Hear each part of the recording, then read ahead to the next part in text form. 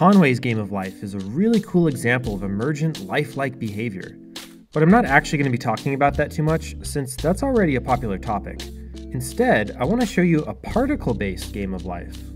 Just like Conway's game of life, particle life also forms self organizing structures, still life, oscillators, gliders, and so on. And it usually looks even more lifelike. So, what's actually going on under the hood? Both lives are based on very simple rules. In Conway's, it's based on neighbor count updating a cell, and in particle life, neighboring cells apply forces on each other. So you have some number of particle types, let's say red, green, and blue for this example. Each class of particles has a random attraction or repulsion to all other classes. So blue and red might attract each other, and green might be repelled by both. But we're going to be breaking the law. And of course, I'm referring to Newton's third law, that every action has an equal and opposite reaction. That means that red can be attracted to blue, but blue can be repelled by red, so you end up with a pursuit. And of course, that means we're also breaking another law, the conservation of energy. When particles chase each other like this, they can just build up speed forever, and that leads to nothing interesting.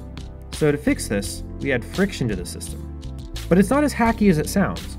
Besides fixing the infinite energy problem, it also causes annealing, meaning that over time, particles tend to fall into the most stable arrangements. And it's kind of more lifelike if you think about it.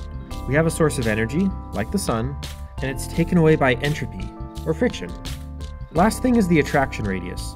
There's a minimum and maximum distance where force can be applied, and that's randomly chosen for each class as well. Particles also have an extra repelling force to prevent intersection. And that's about it. By tuning those random distributions, you can get different kinds of life just like the different cellular automata rules.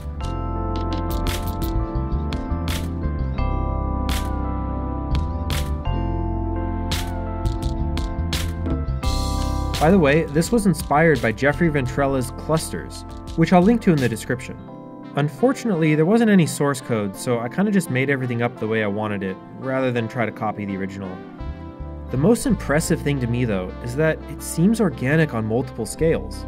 You could say it kind of looks like stars and galaxies forming clusters, or animals or fish chasing each other around, or cells and membranes moving around a microscope slide, or individual atoms forming more complex molecules. Life, it seems, is really a giant fractal. It all goes back to that emergent behavior arising from simple rules, and that's what the universe is made of simple rules. So, I hope this was an interesting topic from both a programming point of view and a philosophical one. The source code and executable are in the description as usual.